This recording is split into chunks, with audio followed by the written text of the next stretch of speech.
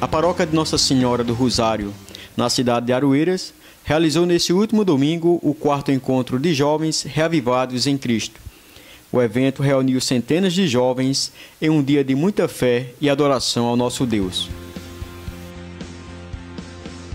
Bem, é, realizar um evento desse é necessário ter muita fé, né, em primeiro lugar.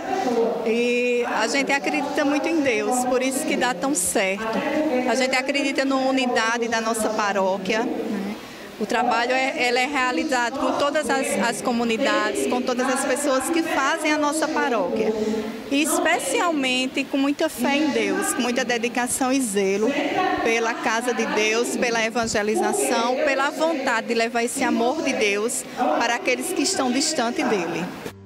O encontro foi encerrado com missa celebrada pelo padre Edinaldo Gomes, que levou em sua pregação uma mensagem para todos os jovens ali presentes. Cada um dos jovens, cada um de vocês, cada um de nós somos chamados a evangelizar, a levar a palavra de Deus e fazer com que os nossos dons, o nosso jeito de ser, reflita o amor de Jesus, reflita a experiência que temos com a palavra e o mistério do seu amor que nos toca, nos cura e nos liberta no mistério de sua paixão.